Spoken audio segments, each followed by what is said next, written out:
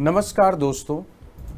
RAS के 2021 के mains के एग्ज़ाम में एथिक्स के परिचय के अंतर्गत एक प्रश्न पूछा गया।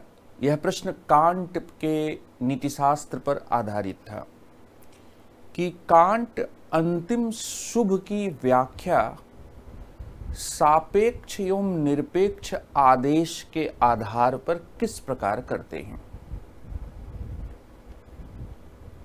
जो आर का ये प्रश्न है ये कांट पर पहली बार नहीं है पहले भी आ, कांट पर प्रश्न पूछे गए थे।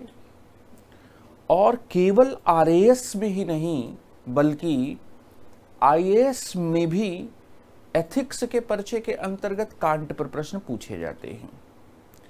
तो इस सत्र में हम लोग इसी बात पर चर्चा करेंगे कि इमैनुअल कांट पर जो आरएएस के एडमिनिस्ट्रेटिव एथिक्स के पाठ्यक्रम में आर एस टू में जो सवाल पूछा गया और इसी तरह से कांट पर आईएएस 2014 में भी एक सवाल पूछा गया।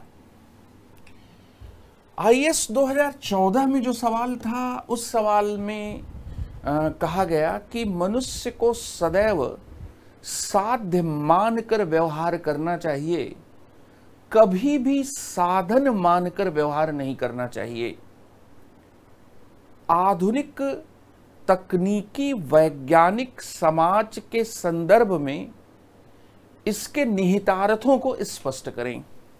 यहाँ पर कि क्या प्रश्न था? प्रश्न था कि मनुष्य को मनुष्य को सदैव सदैव साध्य मानकर साध्य मानकर व्यवहार करना चाहिए।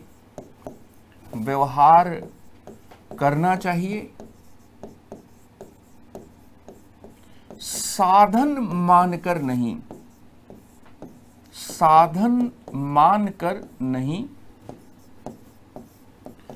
और फिर इसमें कहा गया कि आधुनिक तकनीकी, वैज्ञानिक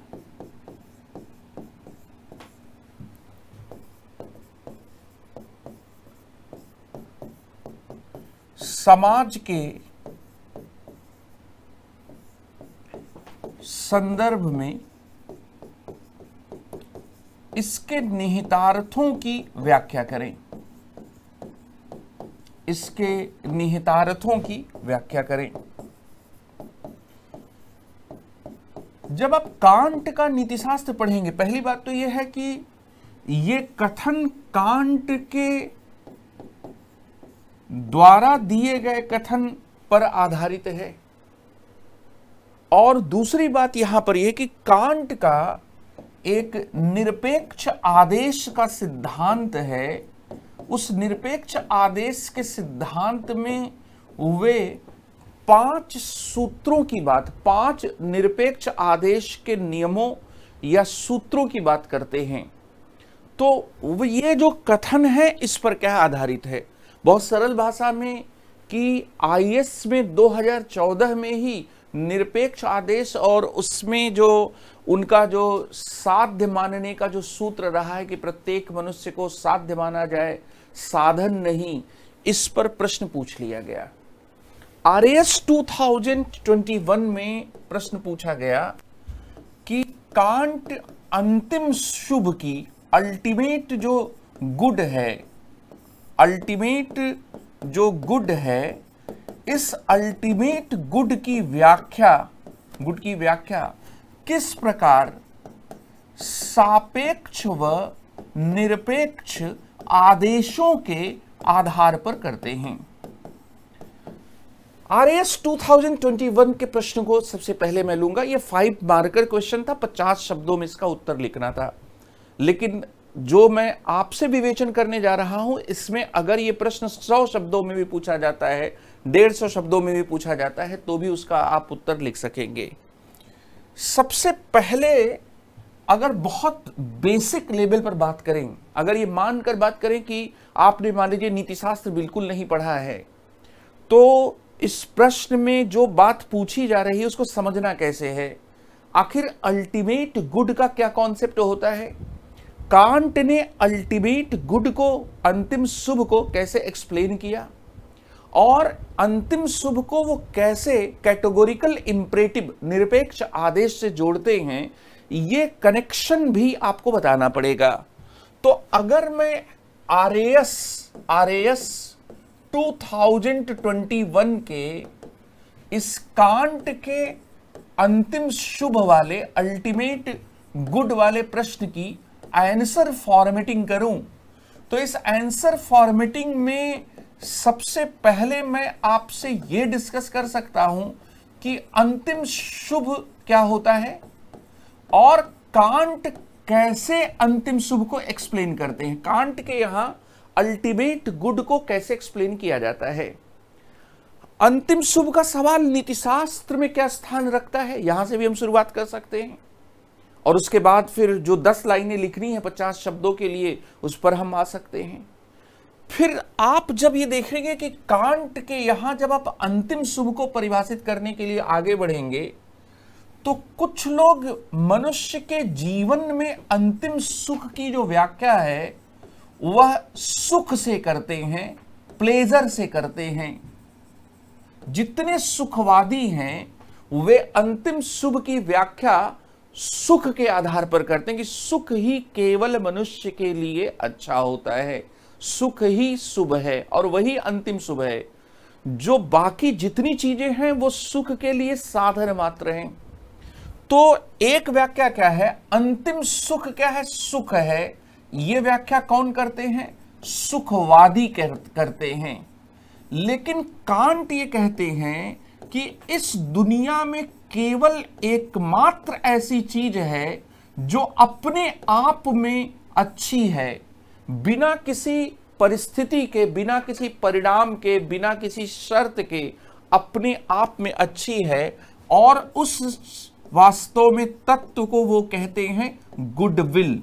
इसको हिंदी की किताबों में शुभ शुभ संकल्प भी कहा गया है और कुछ हिंदी की किताबों में इसका अनुवाद सदिच्छा भी किया गया, सत इच्छा। तो गुडविल को कांट क्या है? इस दुनिया की एकमात्र ऐसी चीज़ मानते हैं जो अपने आप में अच्छी है। अब यहाँ पर गुडविल ही अंतिम शुभ है। लेकिन जो गुडविल है, वो अपने आप में क्या है? क्या जब हम सुख की कामना से कोई कार्य करते हैं तो वो क्या गुडविल के अंतर्गत आएगा? कांट कहते हैं नहीं। क्या हम स्वाभाविक प्रवृत्तियों से वशीभूत होकर जो कार्य करते हैं, क्या वह गुडविल के भीतर आएगा? कांट का उत्तर है नहीं। तो ऐसी स्थिति में यह प्रश्न उठता है कि फिर कांट का, कांट के यहाँ गुडविल क्या है? तो आप यहाँ पर बताएँगे कि कांट के यहाँ जो शुभ संकल्प है। शुभ संकल्प जो है, वह कर्तव्य के चेतना है, कर्तव्य के लिए कर्तव्य करना है। कई बार हम अपने कर्तव्य की पूर्ति सुखों के लिए करते हैं, किसी लक्ष्य के लिए करते हैं। कांट उसे अपने आप में अच्छा नहीं मानते। कांट के यहाँ गुडविल का मतलब है कर्तव्य की चेतना से प्रेरित होकर किए जाने वाले कर्म। तो कर्तव्य के लिए कर्तव्य कांट के यहाँ क्या है? शुभ संकल्प है। और कांट के यहाँ जो कर्तव्य के लिए कर्तव्य है यह दरअसल सापेक्ष आदेश नहीं है। यह कर्तव्य के लिए कर्तव्य दरअसल क्या है? यह निरपेक्ष आदेश है। दरअसल जो जो कार्य हम किसी लक्ष्य, किसी परिणाम से को, परिणाम के निर्धारण के हिसाब से करते हैं, वो कार्य एक लक्ष्य या परिणाम के सापेक्ष हैं। कांट का कहना है कि ऐसे कार्य नैतिक रूप से शुभ हो, ये ज़रूरी नहीं है। इसलिए कांट ने यहाँ पर कर्तव्य के लिए, कर्तव्य के सिद्धांत को निरपेक्ष आदेश के रूप में क्या है, प्रतिपादित किया कि कुछ नियम होते हैं। ये नियम जो होते हैं, हमारी बुद्धि के द्वारा दिए जाते हैं। और ये जो नियम होते हैं, ये सार्वभौमिक होते हैं। ये जो नियम होते हैं, इनमें एक आदेशात्मक तत्व होता है। ये नियम जो होते हैं, परिणाम निरपेक्ष होते हैं। और इसलिए ये निरपेक्ष आदेश की तरह होते हैं। और जब हम अपने जीवन का निर्धार, जीवन यापन कुछ नियमों के आधार पर करें, जो नियम हमारी इच्छाओं, प्रवृत्तियों, संवेगों आदि से संचालित न हो। निरपेक्ष आदेश वो क्या है? केवल और केवल कर्तव्य की चेतना से संपादित हो तो वैसी स्थिति में हम निरपेक्ष आदेश के अनुसार कार्य कर रहे हैं। तो बहुत संक्षेप में आपको इन तीनों पॉइंट में कनेक्शंस को क्या जोड़ना पड़ेगा। इस प्रश्न में आपको सबसे पहले अंतिम शुभ को एक्सप्लेन करना पड़ेगा। उसके बाद आपको बताना पड़ेगा कि अंतिम शुभ क्या है, कर्तव्य की, या जो शुभ संकल्प से जुड़ा हुआ है, शुभ संकल्प क्या है, कर्तव्य की चेतना है। और कर्तव्य की जो चेतना है, उसमें उसकी मूलभूत बात यह है कि जब आप उसको निरपेक्ष ढंग से, किसी परिणाम के सापेक्ष नहीं, किसी लक्ष्य के सापेक्ष नहीं किसी स्वार्थ या स्वाभाविक प्रवृत्ति के सापेक्ष नहीं। जब आप उसे एक कर्तव्य के नियम के रूप में करते हैं, तभी आप नैतिक होते हैं। तो इस प्रश्न में यह कनेक्शन की मांग थी। इनमें हम लोग इन तीनों पॉइंट्स के संदर्भ में बात करेंगे। लेकिन सबसे पहले हम लोग यहाँ पर यह देखते हैं कि अंतिम शुभ को कैसे एक्सप्लेन किया जा सकता है। नीतिशास्त्र के दो मूलभूत प्रश्न होते हैं। एक प्रश्न ये होता है कि मेरे लिए क्या अच्छा है, और दूसरा प्रश्न ये होता है कि मेरे लिए क्या सही है। हम लोग इसको ऐसे कह सकते हैं कि जब हम लोग नीतिशास्त्र के विषय को पढ़ते हैं तो दरअसल नीतिशास्त्र का जो विषय है, इसमें इसके हम ये कह सकते हैं कि इसके दो मूलभूत क्या होते हैं? प्रश्न होते हैं। नीतिशास्त्र के विषय में जो दो मूलभूत प्रश्न होते हैं, उन प्रश्नों को अगर हम लोग सरल, व्यवहारिक भाषा में अगर उनकी बात करें तो एक प्रश्न ये होता है कि मेरे लिए क्या अच्छा है? अगर व्यवहारिकता की दुनिया से जोड़कर देखें तो मेरे लिए क्या अच्छा है? What is good for me ये प्रश्न हम लोग ये कह सकते हैं कि ये अच्छा का, शुभ का या गुड का प्रश्न है। एक दूसरा प्रश्न भी होता है, और वो प्रश्न क्या होता है कि मेरे लिए क्या सही है? एक दूसरा प्रश्न है, वह प्रश्न क्या है? वह प्रश्न ये है कि मेरे लिए मेरे लिए क्या सही है? What is right for me what is right for me अब यहाँ पर अगर हम लोग देखें तो जो नीतिशास्त्री विचारक रहे हैं, उनके बीच में इस इन प्रश्नों के उत्तर को लेकर व्यापक मतभेद हैं। मेरे लिए क्या अच्छा है? यहाँ पर एक और सवाल उठता है कि मैं किस अच्छे की बात कर रहा हूँ? कुछ चीज़ें मेरे लिए तात्कालिक रूप में अच्छी होती हैं। जैसे एक आरएएस की तैयारी कर रहे, एक मध्यम वर्गीय परिवार से ताल्लुक रखने वाले व्यक्ति के लिए नौकरी हासिल करना उसके तात्कालिक रूप में अच्छा है। तो कुछ चीज़ें ऐसी होती हैं जो तात्कालिक रूप से अच्छी होती हैं, लेकिन वो कभी भी जीवन में अंतिम अच्छाई के रूप में स्थान नहीं बना सकती हैं। जैसे कई लोग ये कहेंगे कि पैसा साधन है, पैसा सुख का साधन है तो सुख अपने आप में अच्छा है। और सुख के, सुख को प्राप्त करने का तरीका पैसा है तो पैसा एक क्या है? इंस्ट्रूमेंटल वैल्यू है। वो तात्कालिक रूप से अच्छा है, दीर्घकालिक और अंतिम रूप से अच्छा हो ये ज़रूरी नहीं है। इसका मतलब कि जब हम ये सवाल उठाते हैं कि मेरे लिए अच्छा क्या है तो कुछ चीज़ें मेरे लिए तात्कालिक रूप से अच्छी होती हैं। और कुछ चीज़ें मेरे लिए क्या होती हैं? मेरे लिए अंतिम रूप से अच्छी होती हैं।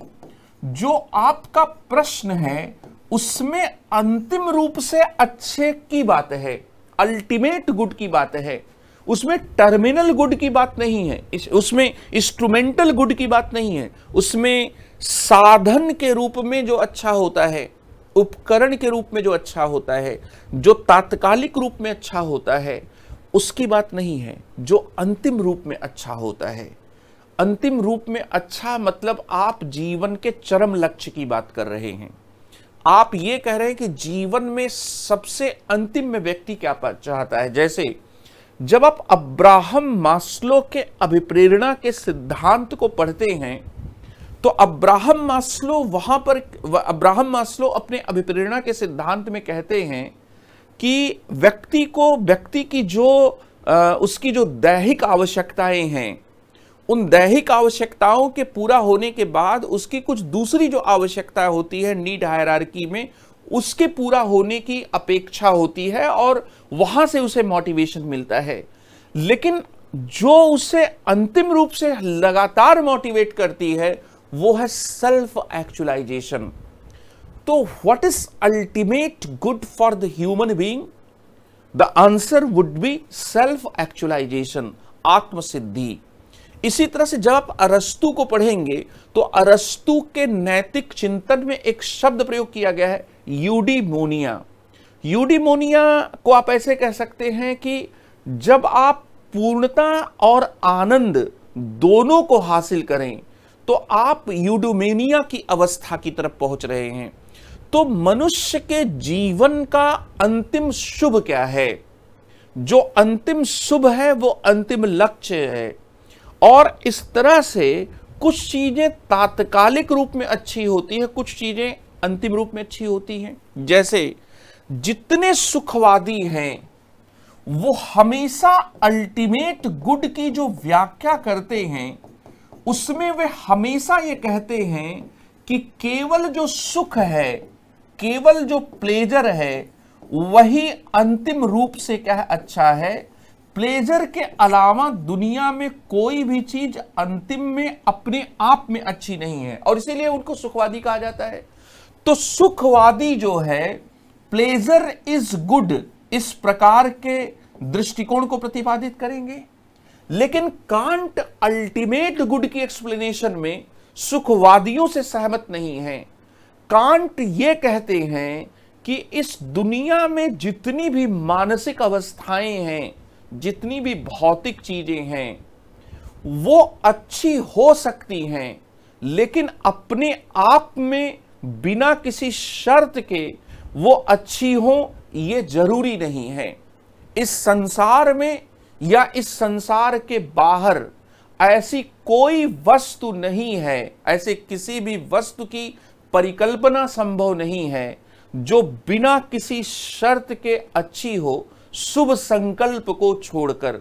शुभ संकल्प ही एक ऐसा रत्न है जो अपने प्रकाश से आलोकित रहता है।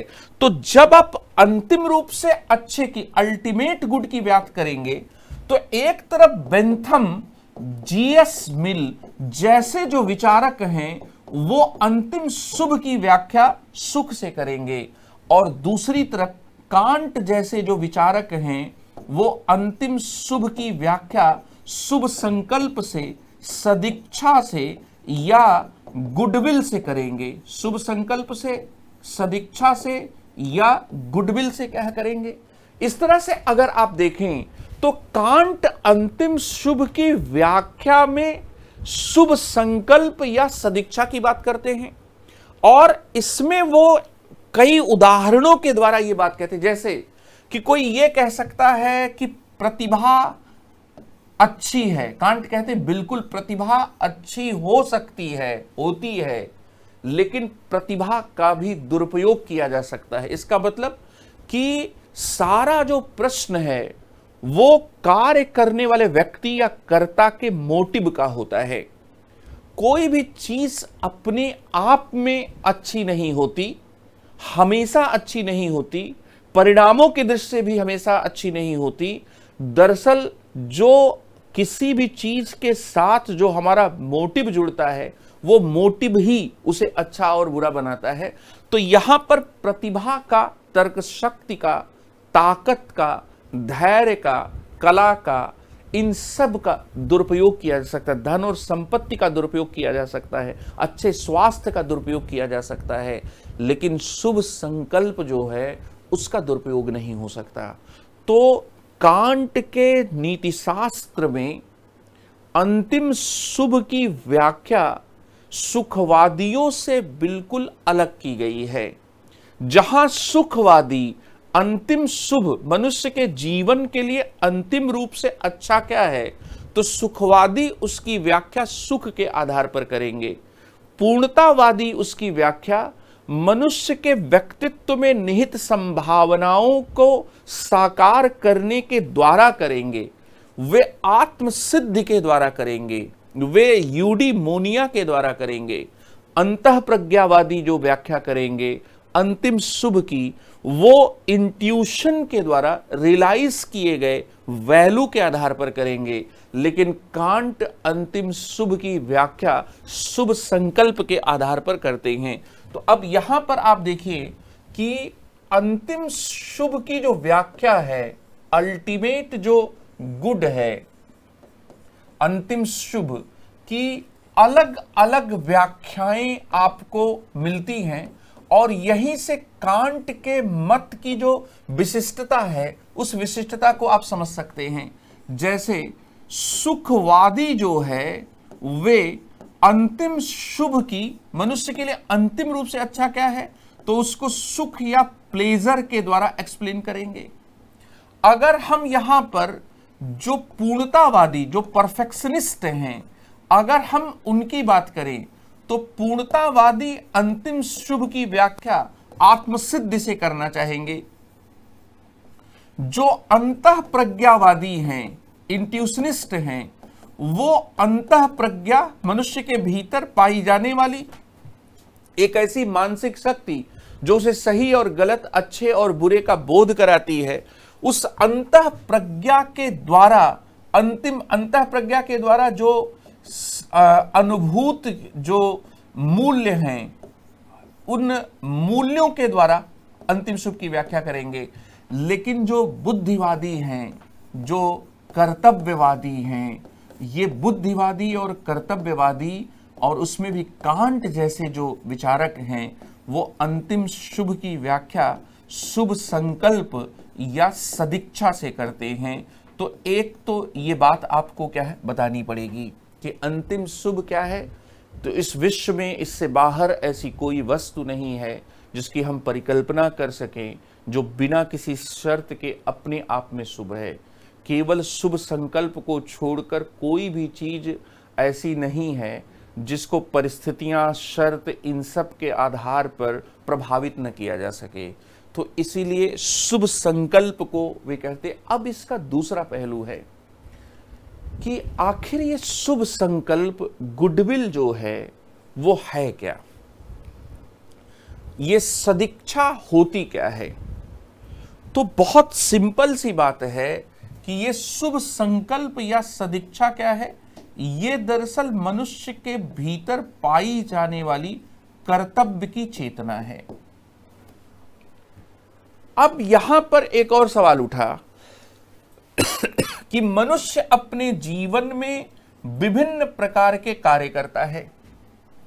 कांट मनुष्य के जो कार्य हैं, उनको तीन वर्गों में बांटकर देखते हैं। कहते हैं वे कि कुछ ऐसे कार्य हैं, जो मनुष्य स्वाभाविक प्रवृत्तिवश प्रेरित होकर, स्वाभाविक प्रवृत्तियों से प्रेरित होकर करते हैं। मनुष्य के भीतर दया है, मनुष्य के भीतर हमदर्दी है, मनुष्य के भीतर ईमानदारी है। तो मनुष्य कई बार अपनी स्वाभाविक प्रवृत्तियों से संचालित होकर कार्य करते हैं। कई बार मनुष्य ऐसा भी होता है कि अपने स्वार्थ से प्रेरित होकर या सुख से प्रेरित होकर कार्य करते हैं। लेकिन कुछ कार्य ऐसे होते हैं जिसमें मनुष्य कर्तव्य के आधार पर, कर्तव्य समझकर उन्हें करते हैं। तो जो कार्य हम सुख के लिए करें, अगर मैं अपने फ़र्ज़ को सुख के लिए अंजाम दे रहा हूँ, अगर मैं अपने कर्तव्यों की पूर्ति, सुखों की प्राप्ति के लिए कर रहा हूँ, अगर मैं अपने कर्तव्यों की पूर्ति स्वाभाविक प्रवृत्ति वश कर रहा हूँ तो कांट का कहना है कि यह काम अपने आप में नैतिक नहीं है। एक दुकानदार है जो अपने ग्राहकों को उचित दाम पर चीज़ें इसलिए बेचता है ताकि उसकी दुकानदारी अच्छे तरीके से फलती फूलती रहे। तो कांट यहाँ पर कहेंगे कि उसका यह कर्तव्य प्रशंसनीय होते हुए भी नैतिक दृष्टि से अच्छा नहीं है। या नैतिक दृष्टि से नैतिक कसौटी पर इसको क्या अच्छा नहीं माना जा सकता। क्यों? क्योंकि वो अपना फ़र्ज़ समझकर, कर, किसी कार्य को अपना कर्तव्य मानकर इस नियम के अनुसार कार्य नहीं कर रहा है। और यहीं पर कांट के ऊपर आक्षेप लगा कि वे कठोरतावादी हैं, क्योंकि अगर हम जज्बाती होकर, अगर हम थोड़ा इमोशनल होकर सेंटिमेंटल होकर हमदर्दी में आकर, दया में आकर, करुणा में आकर, दयालुता में आकर किसी की मदद करते हैं तो कांट जैसे विचारक ये कहेंगे कि इसका इसका, चूँकि आपने इसको कर्तव्य की चेतना से पूरा नहीं किया है, इसलिए यह प्रशंसनीय होकर भी नैतिक दृष्टि से कोई मूल्य नहीं रखता। इसीलिए पेटन जैसे विचारकों ने कहा कि कांट का जो नीतिशास्त्र है उसमें कठोरतावाद है उसमें कठोरतावाद है। लेकिन कांट का पॉइंट ऑफ़ व्यू ये था कि मान लीजिए कि कोई काम में आ, कोई काम हमदर्दी से दयालुता से करुणा से प्रेरित होकर कर रहा हूँ। कल को वो भावना अगर मेरे भीतर नहीं रहेगी तो मैं वो काम नहीं करूँगा। जबकि जो काम नैतिक होते हैं, वो हमेशा हर परिस्थिति में क्या है, नैतिक होते हैं। तो कार्यों की जो सार्वभौमिकता होती है, उस सार्वभौमिकता का क्या हो जाएगा? खंडन हो जाएगा। इसलिए कांट का यह कहना है कि स्वाभाविक प्रवृत्तियों के वशीभूत होकर, अपने भीतर की भावनाओं, प्रवृत्तियों से संचालित होकर, जो कार्य हम करते हैं वो कार्य कर, स्वाभाविक प्रवृत्तियों के लिए कर्तव्य पूर्ति के सिद्धांत या नियम पर आधारित हैं, और वे कर्तव्य के लिए कर्तव्य के सिद्धांत से दूर हैं। एक बात, दूसरी बात, अगर हम कहते हैं कि कोई कार्य अब सुख प्राप्ति के लक्ष्य के लिए किया जाए तो यहाँ पर एक नियम बनता है कि कर्तव्य की पूर्ति सुख के लिए किया जाए। यह भी कांट के कर्तव्य के लिए, कर्तव्य के सिद्धांत के से विपरीत है। क्योंकि कांट एक का ये कहना है कि अगर आप ये कहते हैं कि मुझे मनुष्य सुख प्राप्त करना चाहता है और इसलिए उसे ये कार्य करना चाहिए तो ये अपने आप में कोई नैतिक चीज़ नहीं है। कांट कहा करते थे कि ये बहुत स्पष्ट चीज़ है कि सुख का सिद्धांत तो आत्म प्रेम का सिद्धांत है और आत्म प्रेम में नैतिकता कहाँ होती है? इसलिए कांट के यहाँ गुडविल का जो मतलब है, वो ये है कि व्यक्ति कर्तव्य के लिए कर्तव्य के सिद्धांत से संचालित हो। तो कांट के यहाँ अंतिम शुभ जो होगा, उस अंतिम शुभ में क्या है? कर्तव्य के लिए कर्तव्य के सिद्धांत से संचालित हो। और एक कर्तव्य के लिए कर्तव्य का सिद्धांत हमें हमारी इच्छाओं से नहीं मिलता, हमें हमारी भावनाओं से नहीं मिलता। कांट का कहना है कि यह हमें अपनी बुद्धि से मिलता है। यह हमारी शुद्ध बुद्धि का आदेश है। हमारी इच्छाओं और हमारे बुद्धि के बीच में संघर्ष चलता रहता है। हमारी जो इच्छाएँ हैं, जो प्रवृत्तियाँ हैं, वो हमारे बुद्धि के, बुद्धि से बिल्कुल विपरीत बातों की तरफ़ भी संकेत करती हैं। इसलिए इच्छाओं के अधीन जो कर्म किए जाते हैं, इच्छाओं से संचालित होकर जो कर्म किए जाते हैं, इच्छाओं से प्रेरित होकर जो कर्म किए जाते हैं, उन इच्छाओं से प्रेरित किए जाने वाले कर्मों में नैतिकता का समावेश नहीं होता। अगर आप कर्तव्य की चेतना से संचालित होकर कोई कार्य नहीं कर रहे हैं तो कांट उसको नैतिक नहीं मानेंगे। अब यहाँ पर जो कर्तव्य के लिए कर्तव्य का सिद्धांत है, वो अगर कांट के अनुसार अंतिम शुभ का पार्ट है अंतिम शुभ से जुड़ा हुआ है। तो ये किस प्रकार का आदेश है? ये सापेक्ष आदेश नहीं है। ये निरपेक्ष आदेश है। जब आप किसी कार्य को करने में किसी परिणाम या लक्ष्य के द्वारा निर्धारित होते हैं तो उसको कांट सापेक्ष आदेश कहते कहते हैं। जब आप किसी कार्य को करने में किसी लक्ष्य या परिणाम से निर्धारित नहीं होते हैं तो उसको कांट निरपेक्ष आदेश कहते हैं। तो जब आप कर्तव्य की चेतना से संचालित होकर कर्तव्य के लिए कोई कर्तव्य पूरा कार्य करते हैं तो यहाँ पर आप किसी निश्चित परिणाम या लक्ष्य के सापेक्ष कार्य नहीं करते हैं। और इसीलिए कांट में जो शुभ संकल्प है जो शुभ की व्याख्या है, वह उनके सापेक्ष आदेश और निरपेक्ष आदेश के जो अंतर पर टिक जाती है और निरपेक्ष आदेश से एक प्रकार से क्या है, जुड़ जाती है। तो हम लोग यहाँ पर यह देखेंगे कि कांट सापेक्ष आदेश और जो निरपेक्ष आदेश है, इस निरपेक्ष आदेश के बीच में क्या फ़र्क करते हैं? सापेक्ष आदेश को इंग्लिश में रिलेटिव इंप्रेटिव कहते हैं। रिलेटिव इंप्रेटिव कहते हैं हाइपोथेटिकल इंप्रेटिव भी कहा जाता है। हाइपोथेटिकल इंप्रेटिव भी कहा जाता है। और निरपेक्ष आदेश को इंग्लिश में कैटेगोरिकल इंप्रेटिव कहा जाता है। इसको कैटेगोरिकल इंप्रेटिव कहा जाता है। अब हमें यह देखना है कि कांट के यहाँ जो अच्छाई की व्याख्या है, वह निरपेक्ष आदेश से कैसे जुड़ी हुई है और अंतिम रूप में मनुष्य के लिए अच्छा क्या है, वह कैसे निरपेक्ष आदेश से जुड़ा हो, इसको आपको देखना है।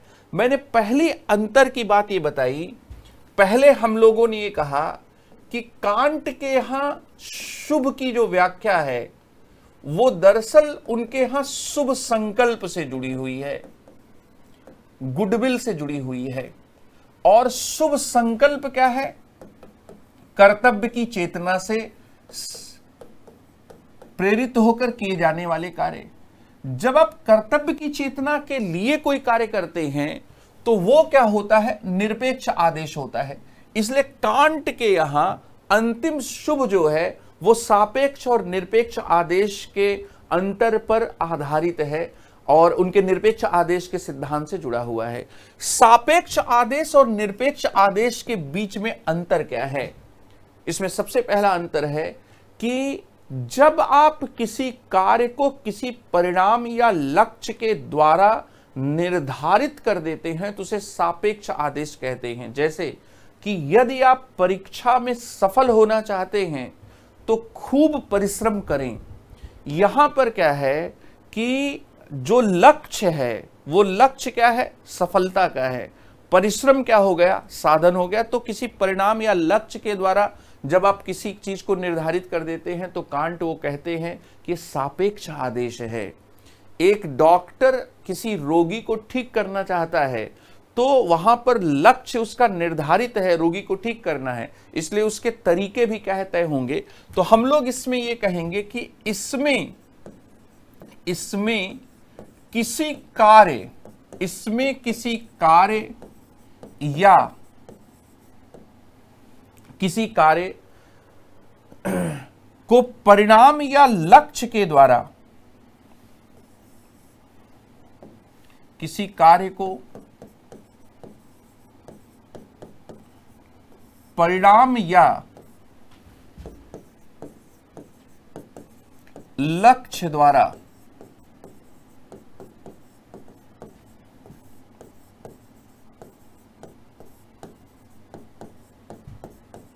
निर्धारित किया जाता है। निरपेक्ष आदेश का जो यहाँ पर सिद्धांत है, इसमें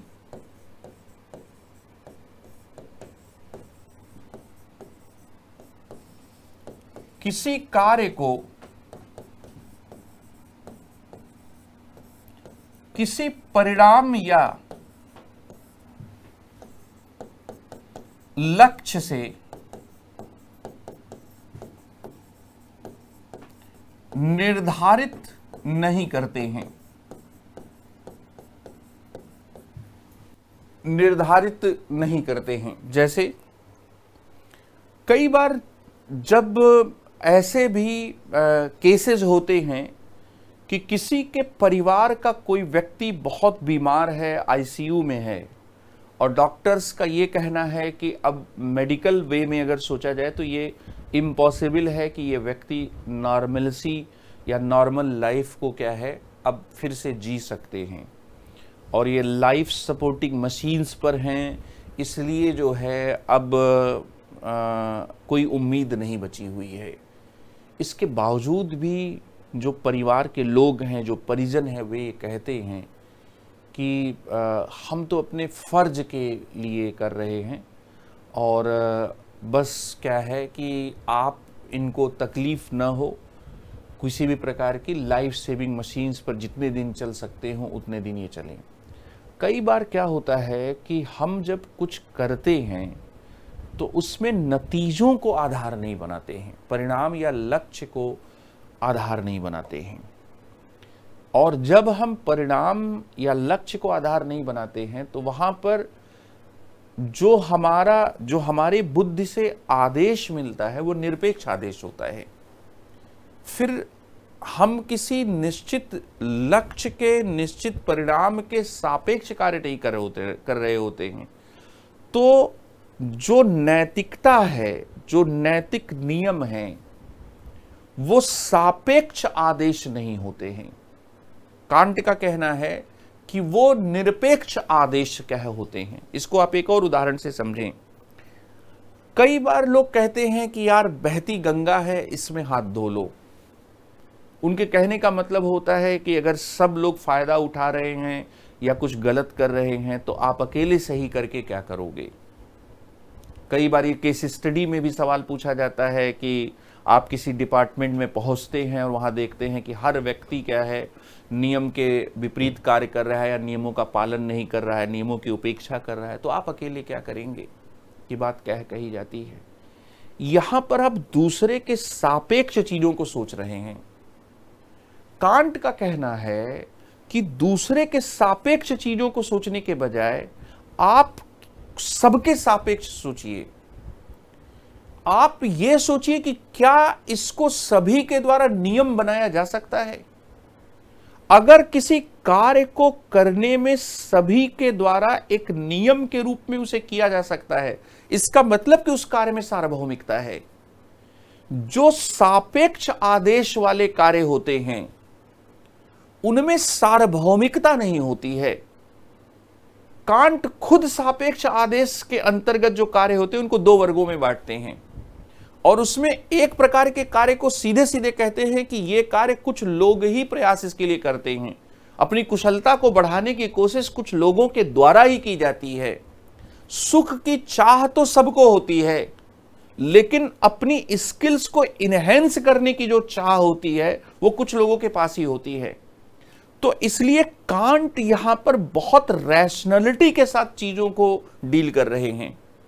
वो ये कह रहे हैं कि जैसे ही आप किसी नतीजे के को ध्यान में रखकर किसी कार्य को अंजाम देते हैं, आपका कार्य प्रशंसा हो सकती, निंदा हो सकती, लेकिन वो नैतिक कार्य नहीं है, क्योंकि नैतिकता निरपेक्ष होती है। नैतिकता निरपेक्ष आदेश के सिद्धांत से संचालित होती है।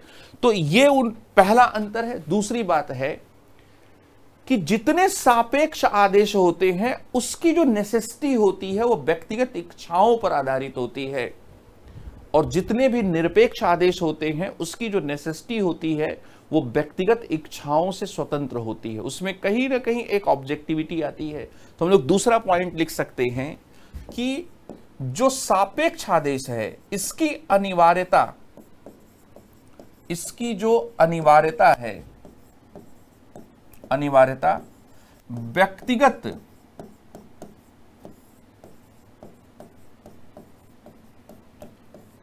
इसकी अनिवार्यता व्यक्तिगत इच्छाओं पर आधारित होती है। आधारित होती है। दूसरी तरफ़ आप देखेंगे कि इसकी जो अनिवार्यता है इसकी अनिवार्यता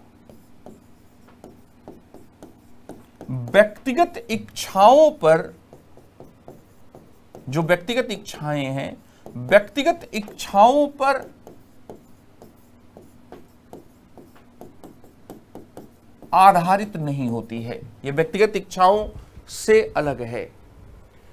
दरअसल, ये जो सापेक्ष आदेश होता है, जो रिलेटिव इंपरेटिव है यह भावना अथवा स्वाभाविक प्रवृत्ति से उत्पन्न आदेश है। तीसरी बात कि यह भावना अथवा स्वाभाविक जो प्रवृत्ति है,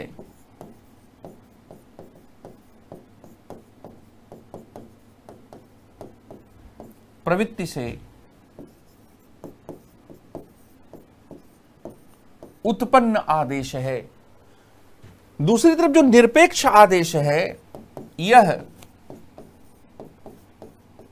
शुद्ध बुद्धि का आदेश है। इसका परिस्थितियों परिणामों मटेरियल इन सबसे क्या है? कोई रिश्ता नहीं होता है। कांट सापेक्ष आदेश के तहत किए जाने वाले कार्यों को दो प्रकार के कार्य दो प्र, दो श्रेणियों में बांटते हैं। एक को कहते हैं कि कुछ ऐसे भी सापेक्ष आदेश होते हैं जो कुछ लोगों के द्वारा ही किए जाते हैं। और कुछ ऐसे होते हैं जो सबके द्वारा कोशिश की जाती है। जैसे सभी के द्वारा सुख की चाह होती है। तो यहाँ पर आप देखेंगे कि सापेक्ष आदेश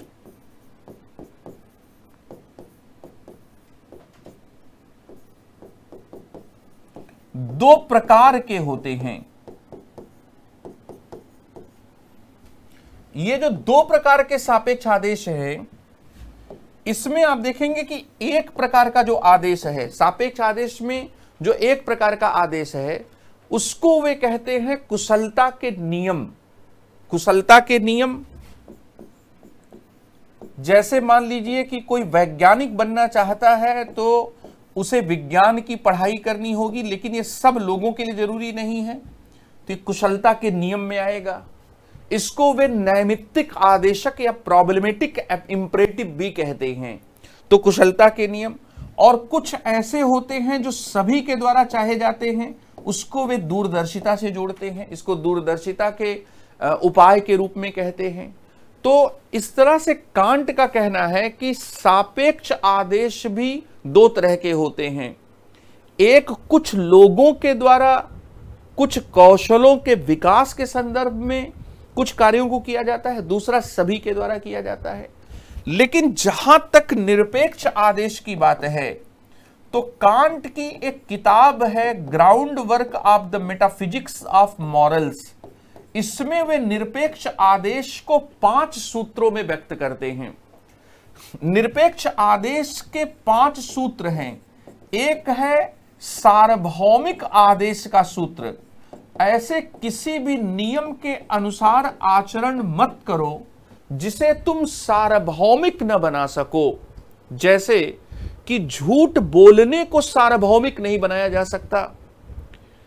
धोखा देने को सार्वभौमिक नहीं बनाया जा सकता। इसलिए ये अनैतिक हैं। तो इस तरह से सार्वभौमिक आदेश का सूत्र है। दूसरा जो सूत्र है, उसको वे प्रकृत आदेश का, प्रकृति आदेश का सूत्र कहते हैं। तीसरे को वे कहते हैं स्वतंत्रता का सूत्र। स्वतंत्रता का सूत्र सभी व्यक्तियों को साध्य मानने का सूत्र और साध्यों के राज्य का सूत्र। इसका मतलब यह है कि वे कहना चाहते हैं कि जो नैतिकता है, उसके जो आदेश होते हैं, उन आदेशों में सार्वभौमिकता, स्वतंत्रता साध्य मानना ये सब चीज़ें क्या निहित होती हैं। इसका मतलब इंसान की नैतिक ज़िंदगी कांट के अनुसार कुछ नियमों, कुछ मोरल लॉ से संचालित हो रही है, ये बात वे कह रहे हैं। तो अब अब आप देखें कि अल्टीमेट गुड क्या है। जब मैं ऐसे नियम के अनुसार आचरण करूँ जिसको मैं सार्वभौमिक बना सकूँ, ऐसे किसी भी नियम के अनुसार आचरण मत करो जिसे तुम सार्वभौमिक न बना सको। किसी भी व्यक्ति को साधन मत समझो, प्रत्येक व्यक्ति को साध्य समझो। जिन नियमों को तुम पालन कर रहे हो, उन नियमों का बनाने वाला खुद को समझो, स्वयं को समझो, स्वतंत्रता का नियम। और इसके साथ ही अपने आप को एक ऐसे राज्य, एक ऐसे समाज का सदस्य मानो, जिसमें हर व्यक्ति क्या है, साध्य है। तो ये जो ये जो कांट के यहाँ जिस प्रकार के जिन नियमों की बात की जा रही, वो उनके अंतिम शुभ के व्याख्या से जुड़ जाएँगे कि भाई अल्टीमेट गुड जो है, वो अल्टीमेट गुड क्या है? अल्टीमेट गुड ये है कि व्यक्ति कर्तव्य की चेतना से प्रेरित होकर ऐसे कार्य करे, जिन कार्यों में सार्वभौमिकता हो, जिन कार्यों में वो प्रत्येक व्यक्ति को साध्य समझे, जिसमें जिन नियमों का वो पालन कर रहा हो, उन नियमों को स्वयं को बनाने वाला समझे, जिनमें साध्यों, जिनमें एक ऐसे समाज का अपने आप को सदस्य माने, जिस समाज, जो समाज है उस समाज में सभी व्यक्ति कह साथ दे हों। अब एक और दिलचस्प बात है कि कांट क्या अपने अंतिम शुभ की व्याख्या में आनंद को बिल्कुल स्थान नहीं देते? क्या कांट के ऊपर ये जो आरोप लगाया जाता है कि वे कठोरतावादी हैं, ये आरोप क्या पूरी तरह से सही है? देखिए, कांट के बारे में यह समझना ज़रूरी है कि कांट उच्चतम शुभ और पूर्ण शुभ के बीच में अंतर करते हैं। अब यहाँ पर आप समझें कि अभी तक आपने समझा कि कांट के यहाँ एक अंतिम शुभ है, एक अल्टीमेट गुड है। दूसरा, कांट के नीति शास्त्र को आप पढ़ेंगे तो एक वे सुप्रीम गुड की बात करते हैं। और दूसरा कंप्लीट गुड की बात की जाती है। एक है हाईएस्ट गुड या सुप्रीम गुड और दूसरा है कंप्लीट गुड यह बात बहुत क्लियर होनी चाहिए कि जो गुडविल है, जो शुभ संकल्प है, वो सुप्रीम गुड है। जो कर्तव्य की चेतना है, वो उसके अनुसार कार्य करना जो है, वो सुप्रीम गुड है। हमारे कार्यों का लक्ष्य कभी भी आनंद या सुख की प्राप्ति नहीं होना चाहिए। इस बात को तो वे कहते हैं। लेकिन इसके साथ ही वे ये भी कहते हैं कि जो पूर्ण शुभ है उसमें दरअसल शुभ संकल्प भी है, कर्तव्य की चेतना भी है और इसके साथ ही आनंद भी है। जो अपने कर्तव्यों का पालन कर्तव्य मानकर करता है, उसे आनंद भी प्राप्त होना चाहिए। इसलिए कांट के पूर्ण शुभ की अवधारणा में आनंद का समावेश है। इसलिए पूर्ण शुभ शुभ संकल्प प्लस आनंद है। सदगुण, वर्चु प्लस आनंद है। उच्चतम शुभ प्लस आनंद है। इसलिए कांट यहाँ पर जो अल्टीमेट गुड है, उस अल्टीमेट गुड की व्याख्या में सेंस ऑफ़ ड्यूटी को ड्यूटी फॉर द ड्यूटी को मानते हैं। लेकिन इसके साथ ही वे कंप्लीट गुड की जब व्याख्या करते हैं तो वहाँ पर वे आनंद की उपेक्षा नहीं करते हैं। कांट के पूरे नीति शास्त्र की कुछ ऐसी बातें हैं, जो बातें उन्हें दूसरों से अलग बनाती हैं। जैसे, जितने सुखवादी हैं, वो मनुष्य के कार्यों का जो नैतिक औचित्य है, वो सुख के आधार पर तय करते हैं। कांट सुखवाद को पूरी तरह से नकारते हैं, और सुखवाद और बुद्धिवाद में विवाद और झगड़ा हमेशा से रहा है। कांट कर्तव्य की चेतना के आधार पर नैतिकता का निर्धारण करते हैं। दूसरी बात, कांट हमेशा क्या है? परिणाम निरपेक्षता की बात करते हैं। इसलिए वो कर्तव्यवादी होने के साथ साथ वो दरअसल परिणाम निरपेक्ष डियांटोलॉजिकल एथिक्स की अवधारणा को आगे बढ़ाते हैं। तीसरी बात कि कांट के यहाँ नैतिकता की एक ज़रूरी विशेषता सार्वभौमिकता है। जो चीज़ हम सबके लिए नहीं बता सकते हैं, वो चीज़ नैतिक नहीं है। इसलिए किसी भी कार्य के नैतिक होने का जो आधार है, वह नैतिक होने का आधार दरअसल उस कार्य को सभी नियम के रूप में स्वीकार करते हुए कर सकते हैं या नहीं कर सकते हैं, इससे क्या तय होता है? एक उदाहरण से आप, एक इस बात को समझिए। एक राजा ने एक बहुत बड़ा तालाब बनवाया और अपने मंत्रियों के सामने राजा ने प्रस्ताव रखा कि तालाब में पानी या दूध भरा कैसे जाए।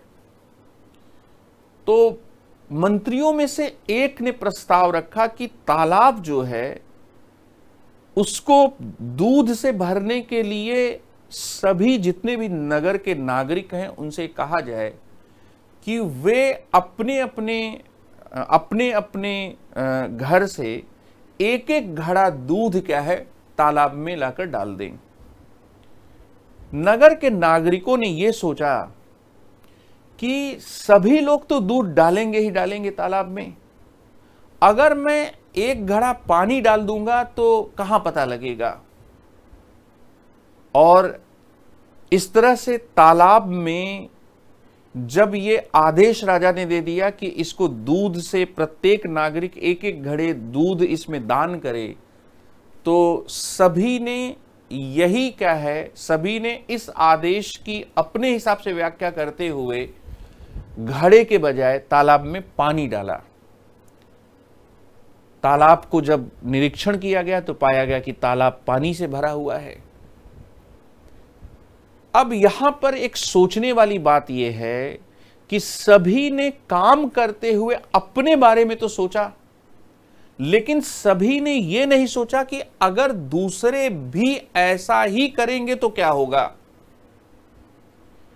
अगर दूसरे भी तालाब में पानी डालेंगे तो क्या होगा। इस उदाहरण से सबक हमें यह मिलता है कि नैतिकता का निर्धारण जो है, इस आधार पर होता है कि जो कार्य सबके द्वारा किया जा सके, वही कार्य नैतिक होता है और यही सार्वभौमिकता का आदेश है। इसके साथ ही कांट के नैतिक चिंतन की एक और बहुत महत्वपूर्ण विशेषता है जिसमें वे मानवीय गरिमा, मानवतावादी नीतिशास्त्र को स्थापित करते हैं। जो चीज़ें हमारे लिए कीमती हैं, वो चीज़ें कभी भी हमारे बराबर नहीं हो सकती। जैसे मोबाइल हमारे लिए एक कीमती चीज़ हो सकती है, लेकिन मोबाइल मेरे बराबर नहीं हो सकता। दुनिया में जितनी भी चीज़ें हैं, वो व्यक्ति के लिए सिर्फ़ और सिर्फ़ साधन होती है। उनको कभी भी साध्य के रूप में नहीं लिया जा सकता। कांट के नैतिक चिंतन की यह भी एक बहुत महत्वपूर्ण विशेषता है कि दुनिया में कोई भी चीज़ क्या है, साधन के रूप में ली जा सकती है। भौतिक वस्तुएँ साधन के रूप में ली जा सकती हैं, लेकिन व्यक्ति को कभी भी साधन के रूप में स्वीकार नहीं किया जाना चाहिए।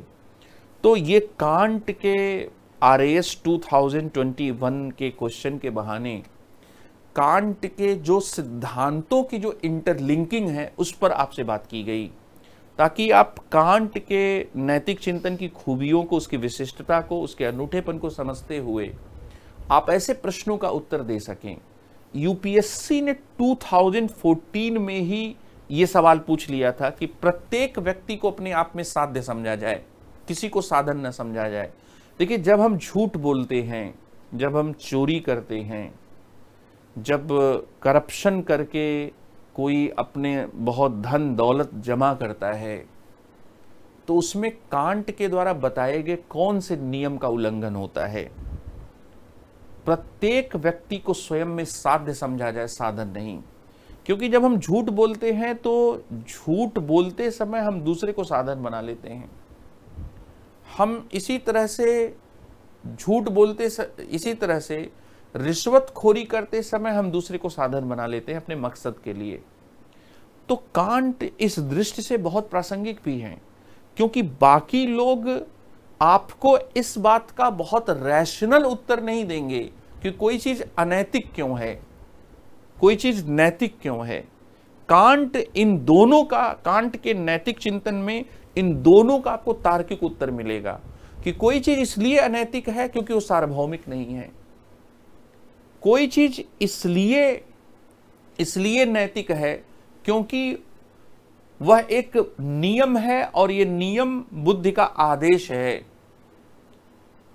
तो इस तरह से कांट का जो नीतिशास्त्र है, वह इन मामलों में क्या विशिष्ट है और ये कहने की आवश्यकता नहीं है। कि जो आज मानववाद मानव अधिकार इन सब की जो धारणा है, वो कांट के इन्हीं नैतिक विचारों पर क्या है? आधारित है। तो इस तरह से आप ऐसे प्रश्नों को सॉल्व करेंगे। इसमें इस प्रकार की इंसाइट्स होनी चाहिए, इसमें इस प्रकार का अप्रोच होना चाहिए। इन पॉइंट्स को आपको डिस्कस करना पड़ेगा। इन बातों को गौर करते हुए, चाहे वो पचास शब्द के प्रश्न आए, चाहे वे सौ शब्द के प्रश्न आए, उनका आप उत्तर क्या है? लिख सकते हैं। बहुत बहुत धन्यवाद।